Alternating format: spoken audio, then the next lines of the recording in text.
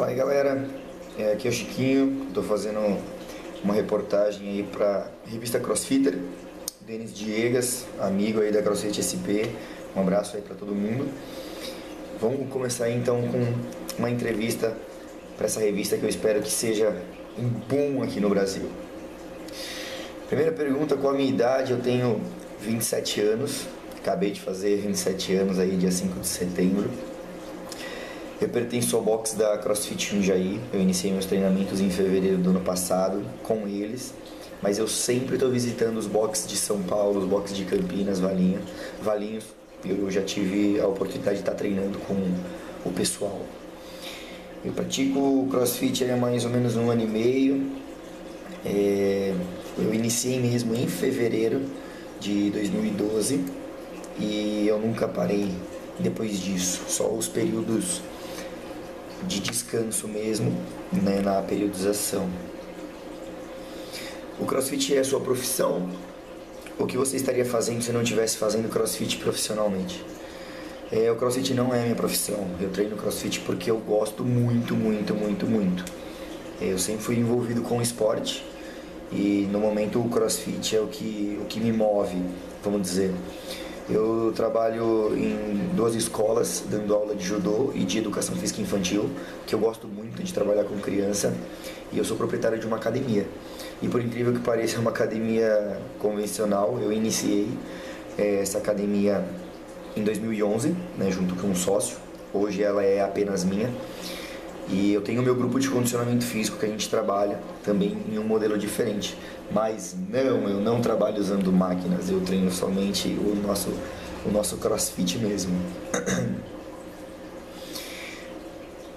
que tipo de exercícios você praticava antes do crossfit? Quais modalidades de esporte? Bom, antes do crossfit, atualmente, vamos dizer assim, eu praticava o judô, eu gostava muito de correr, eu corria acho que pelo menos duas vezes por semana. É, e a musculação. Eu treinava muito forte essas três partes, vamos dizer assim. E mas antes disso, desde pequeno, eu iniciei o judô quando eu tinha sete anos. Eu tive vivência de capoeira, eu pratiquei capoeira durante dois anos, que foi muito rico em relação à habilidade motora para mim. E não é um esporte, mas eu acho que é algo que que faz a criança desenvolver muito para esporte, que é a parte de vivências motoras. Eu, na minha época, cidade de interior, eu brinquei muito na rua. Subia muro, subia árvore, subia árvore. É, corria, jogava bola na rua, então eu tive uma vivência gigante, gigante em relação a isso. Como você se autoanalisa hoje após ter trazido o CrossFit para sua vida, né? Quais os benefícios? O CrossFit mudou totalmente é, o meu treino, o treinamento resistido. É, a maioria das pessoas que treinam é por estética, é para ter um bíceps maior, é para aumentar o peitoral, é para ter um abdômen tanquinho. Isso para um bodybuilder, nossa, bacana, legal, porque o cara é isso que ele precisa mostrar. Esse é o troféu dele. Mas por que não a saúde em primeiro lugar? Eu acho que isso seria muito interessante. O CrossFit ele proporciona isso. É a saúde em primeiro lugar. O corpo é uma consequência, a parte estética. Então, quando eu conheci o CrossFit, ele substituiu totalmente a musculação que eu tinha, porque trabalhava com peso. Ah, mas e a hipertrofia? Não importa a hipertrofia. Isso não é importante para mim. Para mim, como crossfitter, não é importante. Não preciso ter um bíceps grande, oh meu Deus, um ombro. Não preciso disso. Mas mesmo assim, eu treinando a técnica, eu aumentando minhas cargas, vai ser uma consequência isso. Então, o CrossFit ele trouxe uma mudança gigante, gigante na minha vida. Eu não treino com fone de ouvido na orelha. Eu treino conversando com as pessoas, corrigindo as pessoas, melhorando a técnica delas e elas me ajudando a melhorar a minha. É, então, no CrossFit é uma, é uma comunidade, você no momento do treino e você fora do treino. Então, acho que o CrossFit me, me, me trouxe muitos benefícios em relação a, treinar de uma maneira diferente. Fora o dinamismo que tem, não tem rotina de treino. Eu não sei o que eu vou treinar amanhã, depois de amanhã, depois, depois de amanhã, mas quem está montando o meu treino ou o treino do aluno sabe o porquê. Todo mundo tem um objetivo e o, e o seu professor ele vai trabalhar por esse objetivo, que não é estética. Tá? Então, que fique bem claro isso. Isso não é objetivo, a não ser que seja uma modelo, mas primeiro tem que ser a parte da saúde, a estética vai vir por consequência. Como é o ritmo diário de treino que você tem fora e durante o período de competições? É... Bom, se eu estou em período de competição, o foco é total para competição. Eu tenho que montar uma periodização voltada para isso. E se eu estou período fora da competição, continua sendo um período de competição, porque eu tenho que me preparar antes da competição para a competição. Então, diremos que no momento agora, hoje, eu estou parado 10 dias, vamos dizer assim, para recuperar totalmente musculatura, articulações, para eu iniciar o meu preparo, diremos que agora, no início de setembro, para o ano que vem. Um período longo, assim como eu posso preparar períodos curtos. Então, no caso, o preparo vai ser o mesmo, vamos dizer, né? Só que o volume, a porcentagem vai ser pequena agora, a, a, a porcentagem das minhas cargas máximas, com um volume um pouco maior, e isso vai sendo trocado ao longo do tempo, vamos dizer, até eu atingir o período de competição ou até atingir um período de teste que eu faço com as minhas cargas ou, ou com odds, mas acaba, acaba sendo é, igual os períodos antes da competição ou durante, né? porque o foco acaba sendo a competição, no meu caso, que treino para a competição. Percebemos que o crossfit é um exercício muito intenso, mas poderia uma pessoa comum praticar o crossfit em um nível mais fácil? Com certeza, os boxes de crossfit não são, eles não foram feitos só para os atletas. Algumas pessoas gostam de treinar e competir, opa, muito bacana. Mas como que fica a dona Joana, que veio treinar agora e ela tem uma artrose, por exemplo? O crossfit é uma atividade física. E quem dá aula de crossfit tem que ser um profissional de educação física, mas não apenas um profissional de educação física. Ele tem que ter o certificado pela CrossFit Internacional. Ele tem que ter direito a, usar esse nome. Senão ele não pode estar utilizando. Então, qualquer pessoa pode praticar, uma senhora, uma criança, um obeso, desde que tudo dentro da sua limitação. Como que eu faço uma pessoa amputada? Ah, ele não pode treinar, ele pode, de acordo com as suas limitações. Então, qualquer pessoa pode treinar o CrossFit. Digamos que alguém é 100 quilos acima do peso. O CrossFit permite a eles progredir rapidamente a gente não tem que pensar na, na progressão rápida. Eu tenho que pensar em um dia após o outro. Hoje eu treinei, amanhã eu vou continuar treinando, mês que vem, no próximo mês. E o montante, a soma disso tudo vai fazer eu ter um resultado. Então qualquer pessoa pode treinar. Eu não posso pensar, ah, não, hoje eu vou levantar 100 quilos. Não é os 100 quilos o importante. O importante é atingir o objetivo da aula, da, daquele dia, daquela semana. Esse é o mais importante. E aí depois vai, por consequência, eu vou atingir os meus, os meus resultados. Mas a progressão é diária. As pessoas vão notar logo no primeiro mês muita diferença. Tendo 100 quilos ou tendo menos, não importa, ou mais, isso é indiferente. Mas as pessoas podem ter mais ou menos dificuldade. Só que o, o, o, o grande diferencial é a pessoa. Eu vou enfrentar o que vai vir todo dia, que é difícil ou ah não, não é para mim. A gente tem uma frase dentro do CrossFit que é, é bem verdade. O CrossFit ele é para todos, mas ele não é para qualquer um. Se você não tem garra, se você não tem força de vontade, tchau, não tem como. Você acha que seria aconselhável uma pessoa comum é, começar a, a aderir a um box de CrossFit ao invés apenas de praticar exercícios por conta própria? Por quê? Imagine agora se eu saísse né, do meu box de crossfit, por exemplo, a CrossFit Jundiaí, eu conseguiria treinar por conta própria. Mas mesmo assim meu rendimento cairia. É diferente quando você está treinando sozinho e quando você está tá treinando com o olhar de um profissional. Né? Então, no caso, eu treino em um horário especial onde só treinam professores de educação física, pessoas que treinam o crossfit. Nossa, o Chiquinho é o campeão brasileiro, ele pode treinar sozinho. Posso. Mas aqueles detalhes a mais, as pessoas vendo por fora, é extremamente importante. E pessoas que nem treinam um box de crossfit, tá olhando pela internet, tá fazendo, é legal a ideia, mas eu posso me machucar, eu posso estar fazendo com uma postura incorreta, eu posso estar fazendo treinos é, seguidos com muito volume e eu posso ter uma lesão. Nossa, o crossfit me machucou. Não, você se machucou porque não foi em, em um local apropriado para isso, onde as pessoas estudaram para isso. Então você tem que ter uma pessoa com esse conhecimento teórico, esse conhecimento prático, que já vem fazendo um trabalho há algum tempo, para você estar tá evoluindo, para você estar tá atingindo o seu objetivo. Então, os boxes de crossfit oficiais, esses sim, eles vão te ajudar muito no treino. Então, é muito importante você estar tá treinando com, com pessoas, não sozinho. E além de ser muito mais divertido, né? Tá treinando com pessoas. O que falar de alguém que é pouco mais atlético? Eles podem ser simplesmente por conta própria, com os treinos do dia, a partir de um site sobre crossfit. É como eu acabei de falar. Poder pode, ninguém está proibido de fazer nada, mas os ganhos que você vai ter treinando num box oficial são gigantes. Uma das coisas que notamos nos jogos CrossFit é que camaradagem e comunidade entre os atletas né, é algo diferente, é algo diferenciado. No ginásio estamos mais acostumados apenas conectar os fones de ouvidos e não falar com ninguém.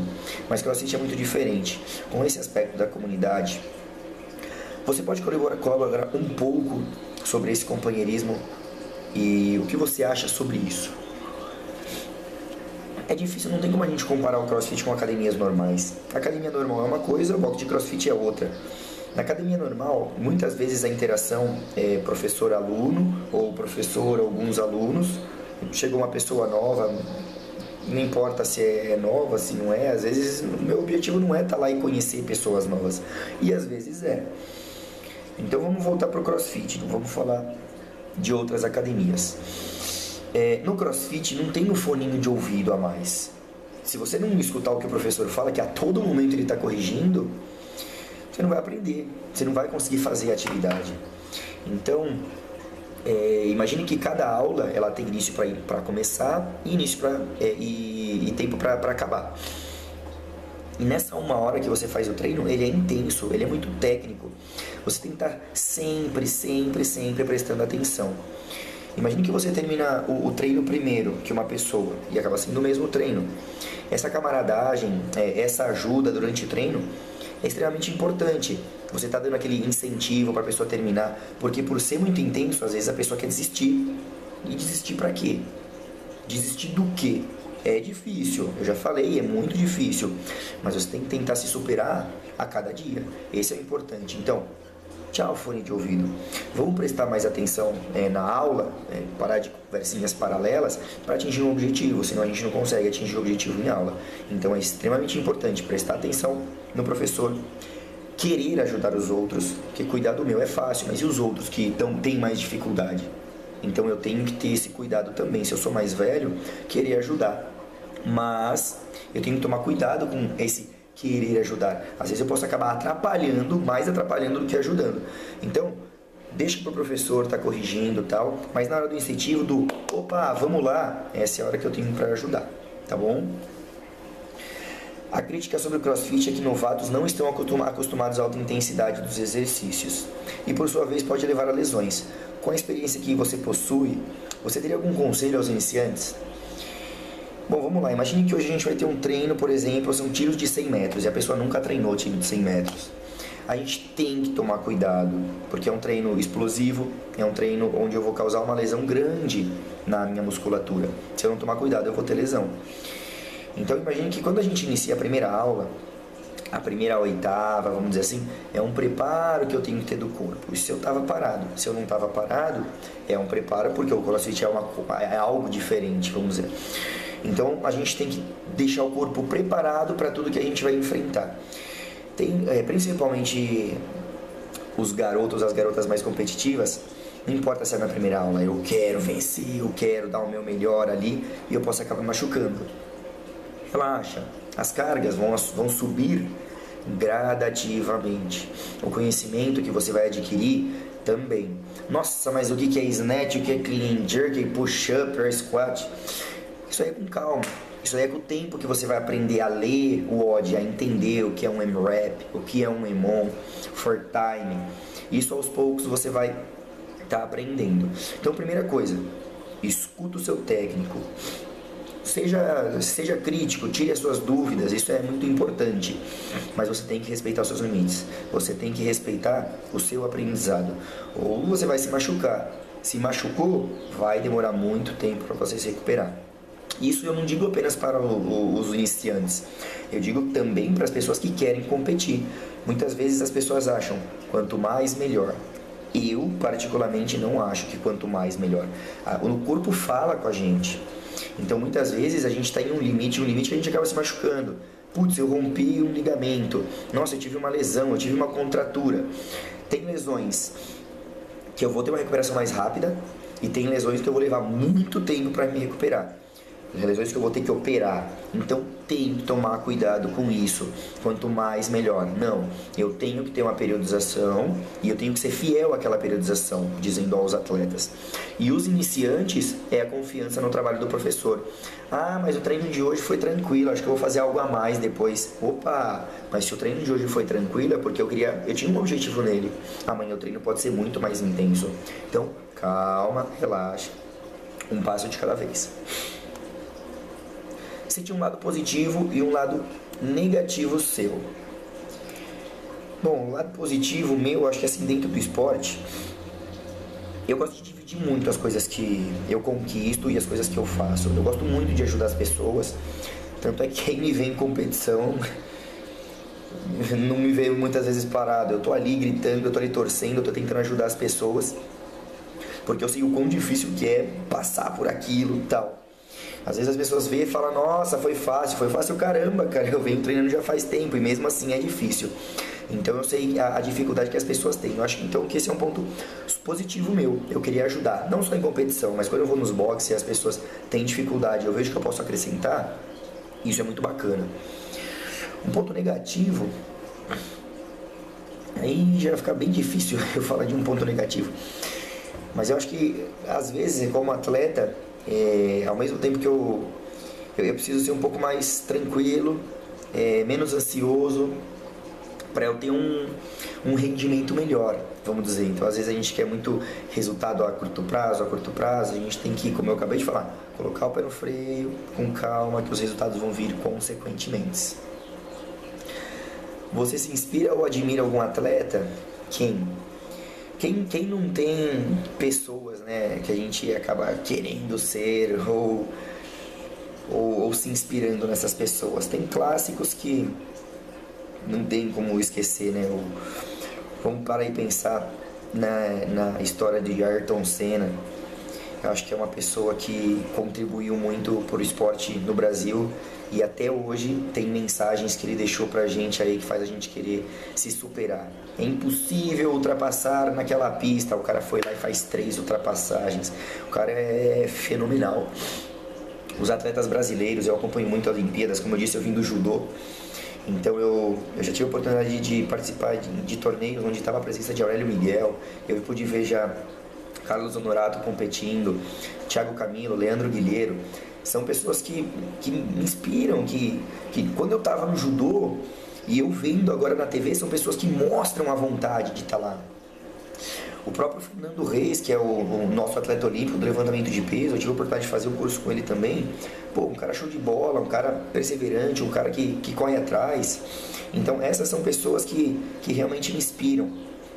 Cleuton Nunes também, que é da canoagem, é, atleta paralímpico, Fernando Fernandes, o Rodrigo Figueiredo, pô, são amputados que não desistiram da vida, os caras foram lá e acharam uma, uma, alternativa aí no esporte. Então, são pessoas que te inspiram. Você fala, pô, você tem suas pernas, você tem seus braços, você tem tudo.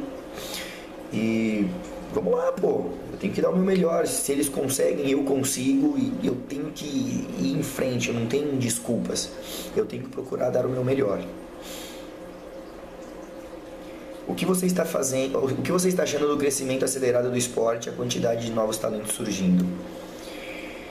Bom, o CrossFit ele cresceu muito, muito, muito, muito. De um ano para cá foram aí, acho que sim, mais de 50 crossfits que surgiram em todo o Brasil. E se não tem uma perto de você, logo logo vai ter. É, o, o, eu já ouvi falar que o crossfit vai ser esporte do século 21. E falo isso, o crossfit não é uma aulinha de academia, o crossfit é um estilo de vida. É um treinamento diário que você tem que fazer. Não tem máquinas, o seu corpo é a máquina, é dinâmico, é divertido. E vai crescer muito ainda, muito. Eu acho que o crescimento é super é, benéfico para o Brasil. Né? Afinal, quem, quem acompanha o CrossFit, o crescimento lá fora, vê que, que é de outro mundo, é, é de arrepiar o que o CrossFit faz de mudança com você. Os novos talentos vão surgir cada vez mais. Afinal, como eu disse, é, agora, esse ano foi o boom do CrossFit. Então, muitos ex-atletas de outras modalidades vão estar surgindo, vão estar dando muito trabalho, então a gente tem que estar o mais preparado possível aí. Quanto às disputas e eventos nacionais, você acredita que os eventos de atletas ainda estão muito longe para alcançar um nível mundial? A gente ainda está em fraldas no CrossFit. Se a gente for parar para pensar, é, não só no Brasil, vamos pensar em América Latina. Eu fui bicampeão brasileiro esse ano. Eu fiquei na América Latina em 11 primeiro. Orlando Trevo ficou em primeiro na América Latina. E lá no Mundial, mesmo lhe dando o máximo dele, não foi suficiente para ficar entre os 30. Ah, mas porque Orlando é fraco? Não. É porque ele também tem pouco tempo, né? ele também tem pouca experiência. Então a gente tem que fazer o quê? Parar cultivar os nossos treinos para no futuro, daqui 3, 4 anos, o nosso corpo em um processo normal suportar as cargas que eles suportam, suportar o número de repetições que eles suportam para começar a ficar fácil, vamos dizer. Então a gente tem que só ter paciência. Né? Não adianta, pô, eu tenho 27 anos, será que com 30 eu vou estar preparado? Pô, o Rich Froning agora tem o quê? 24, 25 anos e o cara já está lá no, no topo, vamos dizer. Então, a gente tem que preparar as crianças de hoje. A gente tem que procurar não especializar precocemente, tomar cuidado com o caminho que a gente está tá, tá colocando essa, essas crianças, esses adolescentes, para aí a gente colher os frutos no futuro. Eu acho que isso é o mais importante, né? É bacana a gente, como nós adultos, a gente, nós treinamos buscando ser os melhores, buscando os campeonatos, mas eu acho que o fruto a gente tem que semear são nas crianças mesmo, nas, no, no, ou nos adolescentes que estão chegando aí. Você tem algum projeto pessoal para o futuro breve ou um sonho que queria citar? Bom, eu venho trabalhando, né, desde que eu, eu, eu consegui ir para o regional, eu, eu venho treinando muito, eu queria muito ir para o Mundial. Seria, eu acho que todo crossfitter que treina para competição é, é um sonho dele. Eu estou treinando para isso. Se eu conseguir, vai ser consequência do meu trabalho. Se eu não conseguir, não vou, não vou pensar se eu não vou conseguir, mas eu vou continuar treinando do mesmo jeito, intenso, no limite, fica terminando no chão o treinamento, com a periodização, sentindo o meu corpo. E o próximo sonho é, é ter o meu espaço, né? Eu ainda não me sinto preparado para ter o meu espaço. Eu quero ter mais experiência, eu quero poder ir para o exterior para trazer mais conhecimento, eu quero poder trazer é, é, novos métodos de treinamentos, eu quero ter é, os cursos é, específicos, é, fora o CrossFit Level 1, eu quero ter os especialistas. Então, eu, eu quero, além de ir para o Mundial, eu quero ter o meu box. Onde? Não sei ainda, né? Vamos ver. Queria agradecer então a iniciativa do, do Denis Diegas por estar tá, é, iniciando esse novo projeto aí que é a revista Crossfitter. Isso aí tem muito a crescer, isso aí tem tem essa iniciativa dele o nome dos atletas que vão crescer muito o esporte no, no Brasil. Então a gente tem que realmente valorizar isso. Eu quero agradecer muito também a CrossFit Jundiaí por por estar tá me dando todo o apoio, o conhecimento que eu tenho. Academia Wellness de Jarinu. Eu tenho que agradecer a Mammoth Strong por eles terem acreditado aí no meu potencial. A gente formou uma parceria.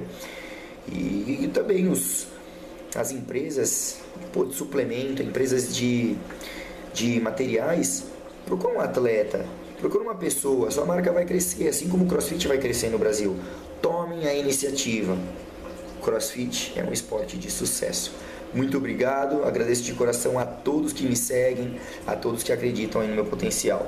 Preparação agora é para o Open, vamos classificar para o Regional e vamos conseguir essa vaga para o Mundial. Um abraço, Chiquinho, Até mais, pessoal. Até mais. Tchau, tchau.